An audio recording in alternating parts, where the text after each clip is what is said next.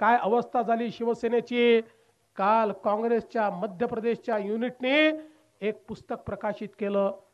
आणि या पुस्तकामध्ये क्रांतीमध्ये ज्यांनी खऱ्या अर्थानं या देशाकरता आपलं जीवन दिलं ज्या कुटुंबानं जीवन दिलं त्या स्वातंत्र्यवीर सावरकरांबद्दल इतक्या खालच्या दर्जाचं त्या ठिकाणी लिखाण केलं. सावरकर समलैंगिक होते. अशा प्रकारचं लिखाण हे स्वातंत्र्यवीराच्या बद्दल या ठिकाणी काँग्रेस पार्टी करते.